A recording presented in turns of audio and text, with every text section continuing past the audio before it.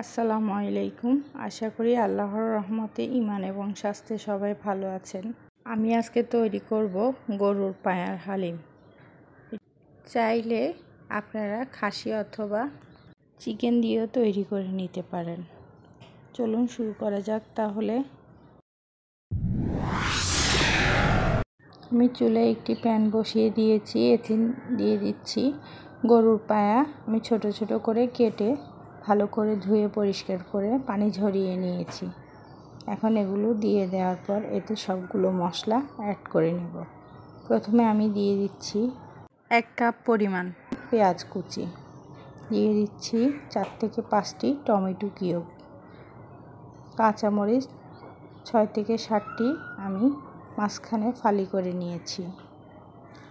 এরপর দিয়ে দিলাম এক টেবিল চামচ পরিমাণ রসুন বাটা, দেড় টেবিল চামচ পরিমাণ আদা বাটা, এক টেবিল চামচ পরিমাণ লবণ।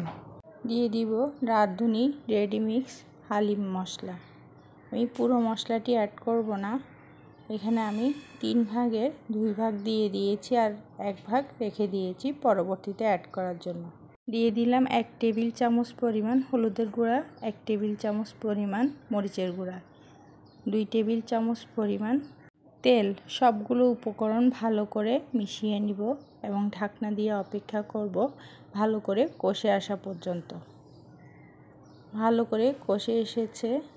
আমি এখন এগুলো ভালো করে আবারও নেড়ে দিব। একটু পরপর নেড়ে দিতে হবে, না হয় কিন্তু পাতিলের নিচে লেগে যেতে পারে। গরুর পায়া সিদ্ধ করতে আমি এখানে এক টেবিল চামচ পরিমাণ রসুন ইউজ করেছি আর দেড় টেবিল চামচ পরিমাণ আদা বাটা ইউজ করেছি কারণ গরুর পায়া সিদ্ধ হতে সময় লাগে, তাই আদার পরিমাণটা একটু বাড়িয়ে দিয়েছি। এখন আমি এগুলো কষিয়ে নেওয়ার পর প্রেশার কুকারে সেট করে নিব পায়াগুলো, কারণ নর্মাল হাঁড়িতে রান্না করতে প্রায় নয় থেকে দশ ঘণ্টা সময় লাগবে একটু পুরোপুরি কুক হতে। তাই প্রেশার কুকারে আমি রান্না করে নিব। প্রেশার কুকারে রান্না করলে এক ঘন্টাতেই গরুর পায়াগুলো ভালোভাবে কুক হয়ে যায়। আমি এতে দিয়ে দিব পাঁচ কাপ পরিমাণ কুসুম গরম পানি। অবশ্যই এখানে কুসুম গরম পানি অ্যাড করতে হবে। ঠান্ডা পানি অ্যাড করলে পায়া রান্না হতে অনেকটাই সময় লাগবে। তাই চেষ্টা করবেন কুসুম গরম পানি অ্যাড করার জন্য। এগুলো ভালো করে নেড়ে চেড়ে পানি এবং মশলাগুলো ভালো করে মিশিয়ে নেওয়ার পর আমি ঢাকনা দিয়ে অপেক্ষা করব এক ঘণ্টার জন্য। আমি খুবই সহজেই আপনাদেরকে পায়ার হালিম তৈরি করে দেখানোর চেষ্টা করছি। এগুলো কুক হতে থাকো এইদিকে আমি একটি বাটি নিয়ে নিয়েছি, এতে দিয়ে দিব হালিমের প্যাকেটে যে হালিমের মিশ্রণটি ছিল সেগুলো নিয়ে, এতে আমি কুসুম গরম পানি দিয়ে দিলাম দুই কাপ পরিমাণ, দিয়ে ভালো করে মিশিয়ে নিলাম। এক ঘণ্টা হয়ে গিয়েছে, আমি এখন প্রেশার কুকারে পায়াগুলো দেখে নিব। চুলা অফ করে দিয়েছি। পায়াগুলো রান্না হয়ে গিয়েছে পরিপূর্ণভাবে। হালিমের ডালগুলো আমি বিশ মিনিট ভিজিয়ে রেখেছি।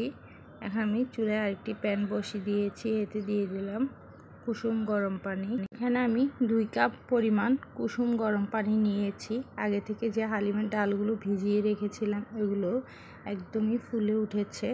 এখন আমি গরম পানির সাথে হালিমের ডালগুলো মিশিয়ে নিব। মিশিয়ে নেওয়া হয়ে গেলে আমি এতে দিয়ে দিব হালিমের যে অবশিষ্ট মশলাটি রেখেছিলাম, ওখান থেকে অর্ধেকটা দিয়ে দিয়েছি। এখন ডাল এবং মশলা ভালো করে মিশিয়ে নিব।